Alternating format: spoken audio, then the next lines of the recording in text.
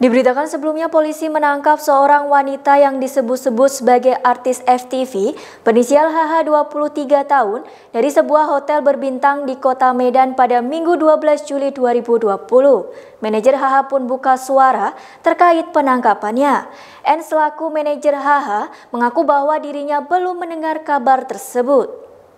Dikutip dari tribunnews.com, saat ini N masih berusaha mencari kebenarannya ke pihak keluarga HH. N mengaku tadi malam masih sempat berkomunikasi dengan HH pada pukul 7 malam. HH dikait-kaitkan dengan artis yang baru saja tertangkap karena prostitusi online di sebuah hotel mewah di Medan. Sementara, Kasat Reskrim Polrestabes Medan Kompol Martuasah Tobing membeberkan pria yang memboking artis HH di sebuah hotel berbintang di kota Medan. Mertuasah menyebutkan laki-laki yang menyewa jasa HH adalah seorang karyawan swasta berinisial R. Diketahui artis FTV HH baru-baru ini sempat menjadi perhatian netizen saat perseteruannya dengan selebgram berinisial AP, mantan kekasihnya YouTuber AHA. Hingga saat ini pihak kepolisian masih melakukan pendalaman terkait kejelasan kebenaran kasus prostitusi online tersebut.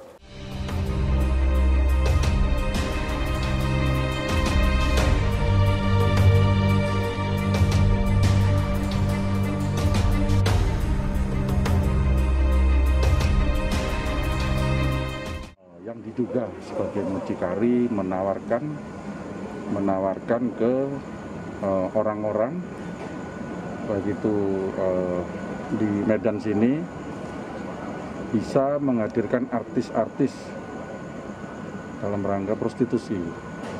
Nah, ini sedang kita dalami, kemudian informasi tadi pagi kita dapatkan.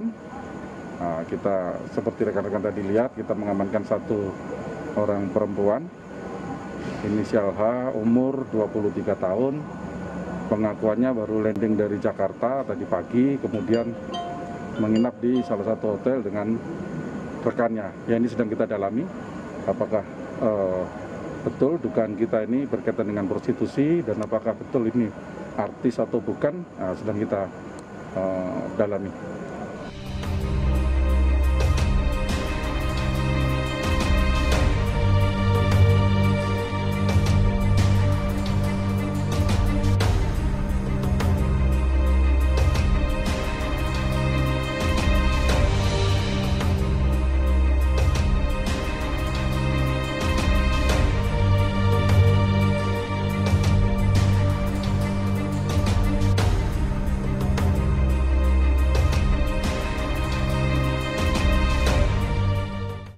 Sekian Tribunnews Update kali ini, nantikan berita yang lainnya hanya di tribunnews.com.